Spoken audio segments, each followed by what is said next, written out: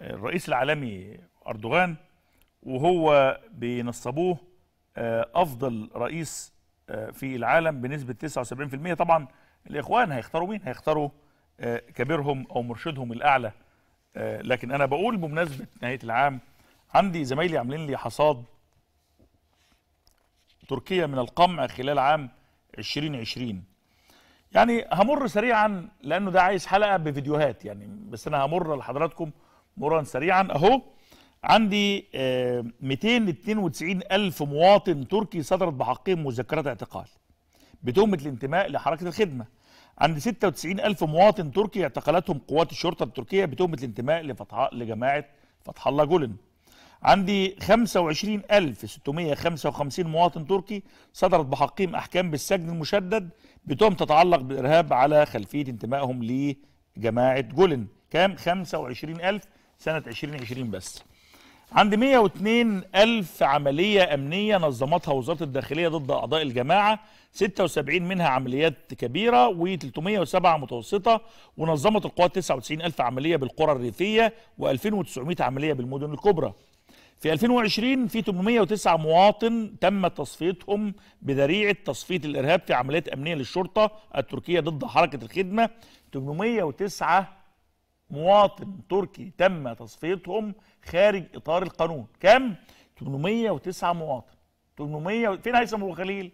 فين حمزة زوبع؟ فين الصحفيين والإعلاميين الإخوان والجزيرة فين؟ 809 مواطن تركي تم تصفيتهم بسلاح رجال الشرطة خارج المحاكم خارج إطار القانون. فين منظمات حقوق الإنسان؟ سلم لي عليها. 67 ألف عملية أمنية تم تنفيذها بمؤسسات الدولة والمؤسسات الخاصة حيث تمت مداهمة منازل العاملين بتلك المؤسسات 76 آه 67 ألف عملية. آه التهمة الثانية الانتماء لحزب العمال الكردستاني آه مع الأكراد. عملوا إيه مع الأكراد؟ 115 ألف عملية اعتقال شنتها وزارة الداخلية ضد مواطنين أتراك بزعم انتمائهم لحزب العمال الكردستاني. 1105 مواطن قتلوا في عمليات نظمتها وزارة الدفاع والداخلية ضد حزب العمال. منهم 102 ثبت انتمائهم للحزب وضلعهم في جرائم إرهابية. بينما البقية قتلوا فور صدور شبهات جنائية ضدهم بيقتلوهم خارج إطار القانون. إهانة الرئيس تهمة زي ما بيقولوا تكبد الأتراك غرامات وأعواما من السجن.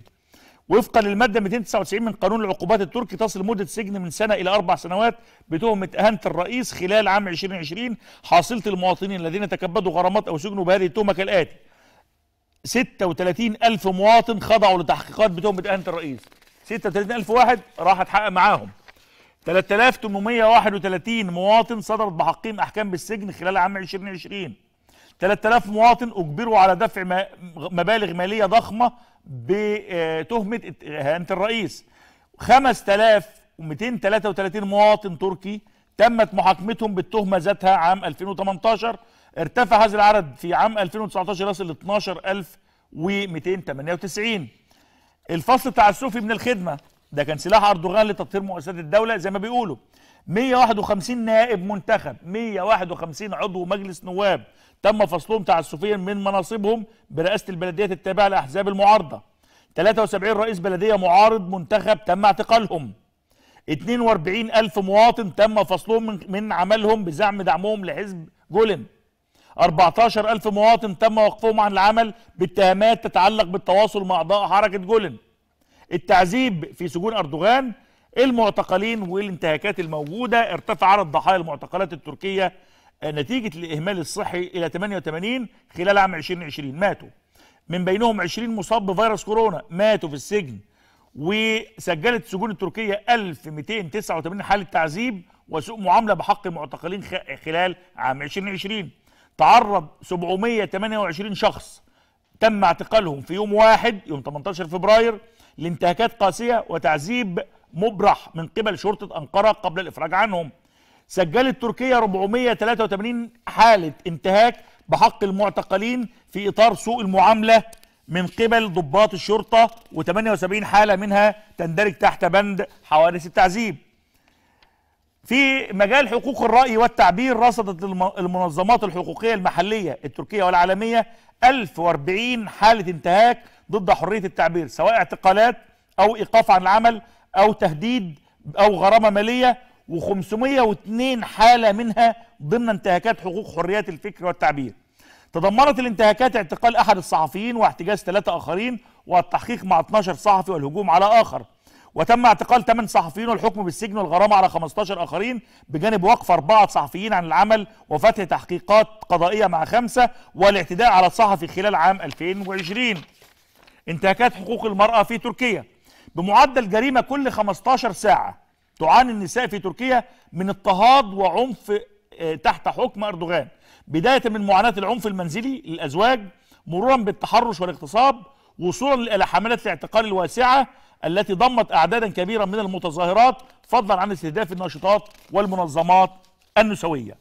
شهد معدل ضحايا العنف ضد المرأة في تركيا ارتفاعا غير مسبوق خلال عام 2020 بنسبة 33% عن العام السابق. تقدمت نحو 560 امرأة بشكاوى إلى الحكومة وتعرضت 21% منهن للانتهاك من قبل الموظفين العموميين. 482 امرأة قتلت على يد رجال. 482 امرأة قتلت في تركيا عام 2020 97 امرأة تعرضت للتحرش الجنسي. 53 امرأة تعرضت للاغتصاب المباشر. 607 امرأة على الأقل أجبرن على العمل بالبغاء. ما لا يقل عن 493 امرأة تعرضن للعنف من قبل الرجال خلال العام. 715 امرأة تعرضت للعنف والقهر. وسط تراخي حكومة العدالة والتنمية من اتخاذ إجراءات حاسمة لوقف العنف ضد المرأة. 26% من الضحايا كنا ممن تقدمنا بطلبات للحماية تعرضنا للعنف من قبل أزواجهن. 86% من النساء المتوفيات قتلن بالرصاص في منازلهن. 18 عضوة بجمعيات حقوق المرأة تقدمنا باستقالات جماعية بسبب انتهاكات من قبل زملائهن بحزب العدالة والتنمية. تعرضت نساء تركيا لاضطهاد اضطهادات عديدة في مجال العمل خلال العام بسبب هيمنة الذكور على ساحة القضاء. فحيث يوجد في تركيا 20629 من القضاة والمدعين العامين تشكل النساء نسبة 35% قائمة بعدد الضحايا. 27 امرأة خلال شهر يناير. 22 امرأة خلال شهر فبراير 29 امرأة خلال شهر مارس وصولا إلى 29 امرأة خلال شهر نوفمبر.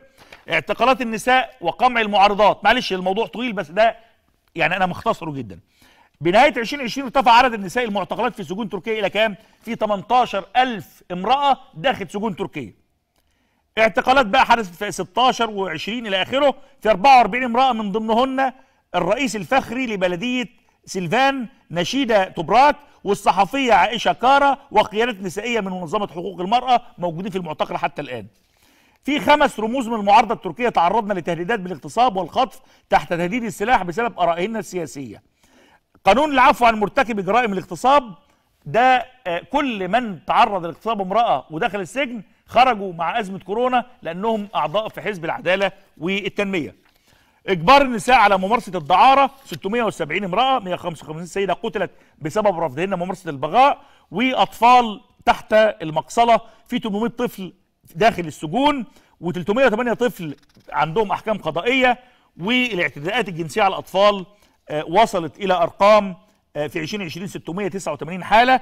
وآخر حاجة الموضوع اللي شرحته لكم امبارح بتاع 30 فتاة من الفتيات تم تعريتهم في 30 آه، فتاة تم تعريتهم من ملابسهم الداخلية أثناء التحقيق معهم.